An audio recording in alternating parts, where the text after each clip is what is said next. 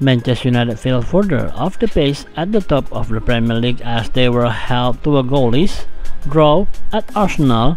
Ole Gunnar Solskjaer made five changes from the shock defeat to bottom club Sheffield United in the midweek but had to settle a 4 a 0-0 draw against a Gunners outfit missing arguably their three best players. Captain Pierre-Emerick Aubameyang, Bukayo Saka, and Kieran Tierney all miss out, but Mikel Arteta's side have been in much better form of late and came closest to taking a 3 points through an Alexander Lacazette free kick which hit the crossbar. United created more change but could not find a way through and they are now 3 points behind leaders Manchester City having played a game more than their neighbors. Meanwhile, Arsenal stretched their unbeaten league run to 7 games and Arteta will be hoping to welcome back his absent trio sooner rather than later having been able to handily sign in Martin Odegaard his debut off the bench.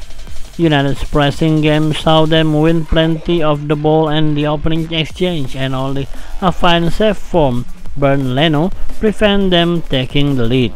A corner was clear to the edge of the Arsenal box where Fred collected and bent a shot towards goal, Leno tipping the effort behind the at full stretch.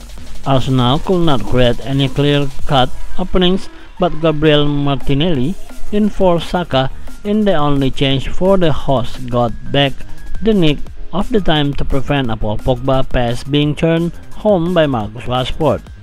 Emile Smith Rowe was enjoying a good start to the game and he broke into the United half before feeding Nicolas Pepe, whose shot curled wide of David De Gea post.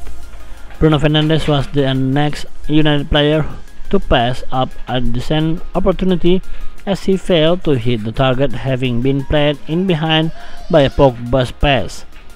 Pogba moved into the deeper midfield role as Scott McTominay was forced off with injury and replaced by Anthony Martial.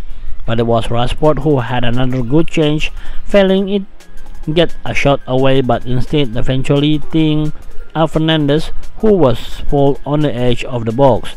His free kick flick off the head of David Luiz, wrong footing Leno but flying narrowly over the crossbar.